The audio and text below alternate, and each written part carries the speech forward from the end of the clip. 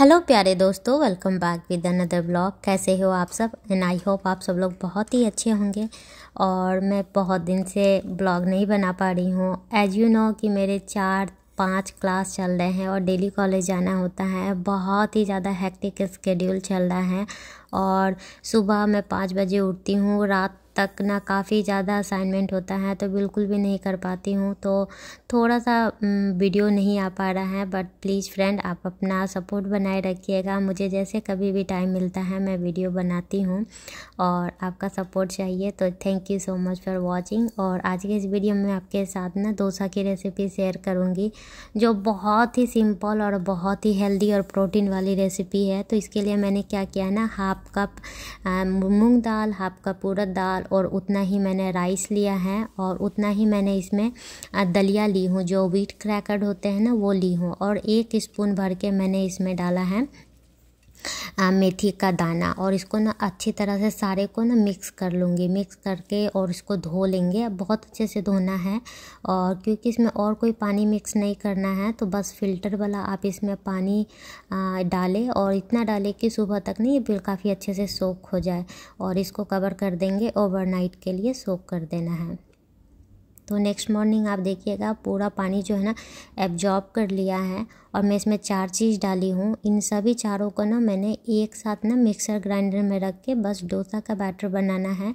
इसमें क्या है ना, आपको वो दाल ज़्यादा हो गया और जो आपके काप्स है ना, जो राइस है राइस राइस का क्वांटिटी मैंने कम डाला है और बहुत ही अच्छा हेल्दी सा ऑप्शन है ब्रेकफास्ट बनाने के लिए और मैं इसको बना के एक बार रख दूँगी एक वीक के लिए।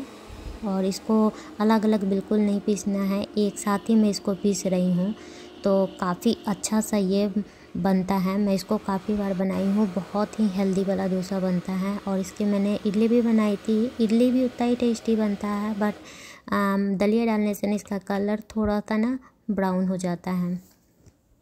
तो ये मेरा पीस के बिल्कुल अच्छे से रेडी हो गया है और अभी इसको पूरा ट्रांसफ़र कर लेंगे एक बॉल में जिसमें मुझे फॉर्मेंट करना है और इसको अच्छी तरह से हाथ से मिक्स कर देंगे और मिक्स करके इसको मैं छोड़ दूँगी सात से आठ घंटे या बारह घंटे के लिए अच्छे फर्मेंटेशन के लिए। तो अच्छे फर्मेंटेशन हो तो इसको डार्क प्लेस पे रख दो। मैं ओवन का लाइट ऑन नहीं करती जस्ट इसको मैं रख देती हूँ।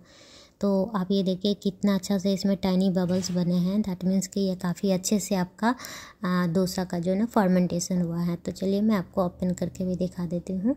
और ये देखिए काफ़ी अच्छा इसमें फर्मेंटेशन होता है। और इसी वाले से ना मैं डोसा बना रही हूँ। तो आम्बी को डोसा पसंद है, उसके लिए डोसा बना रही हूँ। तो ये वाला जो डोसा है ना मैंने उसको लंच बॉक्स में भी पैक करके दी हूँ। और बहुत ही अच्छा बनता है और उसे तो डोसा में स्टफिंग के जगह पनीर और चीज़ ही बहुत ज़्यादा पसंद है। तो इस तरह से इसको डोसा को फैला लेंगे और देखिए, आप बिल्कुल भी नहीं कर सकते, इसमें दलिया डाला हुआ है। और आप चाहें तो इसमें चावल नहीं भी डालें तो कोई फ़र्क नहीं पड़ता, बट मैं डाली हूँ थोड़ा क्रिस्पी के लिए, होने के लिए। और इसमें मैं चीज़ डाल दूँगी और इसको बना देंगे और बहुत ही अच्छा हेल्दी सा डोसा बनता है।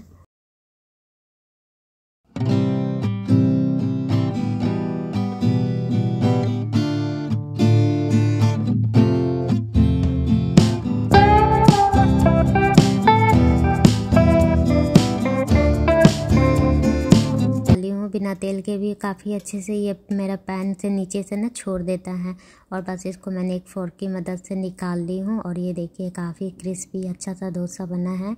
और मैं अम्बी का लंच बॉक्स पैक कर रही थी तो उसमें ही मैं ये रख रही हूँ। तो लंच बॉक्स में देने के लिए भी काफ़ी अच्छा है हेल्दी सा डोसा। तो मैंने एक बटर पेपर में लगा के इस लंच बॉक्स इस वाले डोसा को मैंने हाफ़ कट कर दी हूँ और हाफ़ कट करके इसमें रख देती हूँ नीचे वाले में। और डोसा के साथ हरी चटनी और हरी चटनी मैं बना के रखी थी और बस एक क्यूब निकाल दी हूँ लंच बॉक्स लंच के टाइम तक ना, ये काफ़ी अच्छे से था हो जाएगा। और फ्रूट्स में थोड़ा सा दे देती हूँ स्ट्रॉबेरी ब्लूबेरी और थोड़ा सा चेरी दी हूँ। और बहुत ही अच्छा सा ये टेस्टी सा लंच बॉक्स रेडी होता है और खाने के लिए इसमें मैंने पिक्स डाल देती हूँ और फ्रूट्स में अम्बी को ये सब बहुत पसंद है। चेरी हो गया ब्लूबेरी हो गया और स्ट्रॉबेरीज हो गए। उसी के साथ ही थोड़ा सा फॉक्स नट्स दे देते हैं तो ये लंच बॉक्स अम्बी का रेडी है। और चलिए मैंने ये वाला वीडियो बना के रखी थी बट मैं आपके साथ शेयर नहीं की थी अनबॉक्सिंग करना। और ये काफ़ी अच्छा सा सर्विंग सेट है, बहुत ही अच्छा है। मुझे इतना अच्छा और सस्ते दाम में मिला कॉस्को से। जस्ट ट्वेल्व डॉलर में ना आपको पाँच पीस का सेट मिल गया। आप इसमें सर्व कर सकते हो। कभी भी कोई भी आपके घर में गेस्ट आए या फिर आपको ही अपने फैमिली के लिए कुछ एक आप कुछ पार्टी के लिए प्लेटर बनाना हो, इसमें आप सर्व कर सकते हैं। बहुत ही अच्छा लगता है और आप मेरे पुराने वीडियो में देखे भी होंगे कि मैंने कुछ कुछ डिशेस इसमें सर्व की हूँ।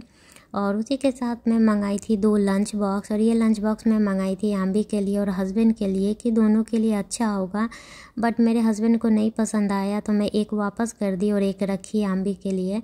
तो इसमें एक स्पून आया था इस तरह से और इसको इस तरह से अटैच कर दो, काफ़ी अच्छा था।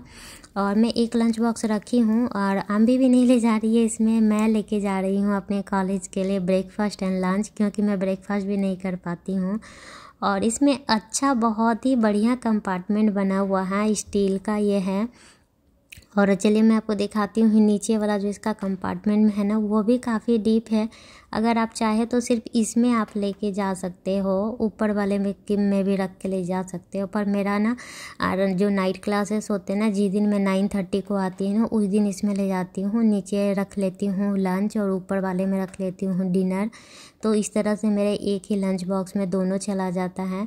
तो ये देखिए आप इस तरह से सिर्फ़ एक लंच बॉक्स इस तरह से लेके जा सकते हैं। बहुत ही अच्छा लंच बॉक्स ये मुझे लगा। इसमें आप राइस राजमा छोले आ, कुछ भी लेके जा सकते हो।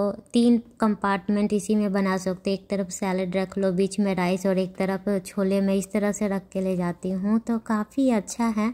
और ऊपर वाले में अगर आपको रोटी सब्ज़ी रखना है और या फिर कुछ फ्राइड राइस उसके साथ थोड़े से सैलड रखना है तो ये लंच बॉक्स बहुत ही अच्छा लगा मुझे और इसमें अटैच करने वाला है। बट मैं इसको नहीं लगाई हूँ, उतना अच्छा नहीं लग रहा था। अटैच करने पे मैं इसको निकाल दी हूँ। और ये स्टेनलेस स्टील का है, आप इसको इस तरह से रिमूव भी कर सकते हो और डिस्क वाशर में भी रख सकते हो।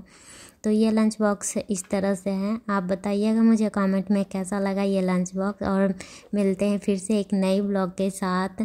Till then bye and take care और बहुत ही छोटू सा ब्लॉग है। तो bye friend thank you so much for watching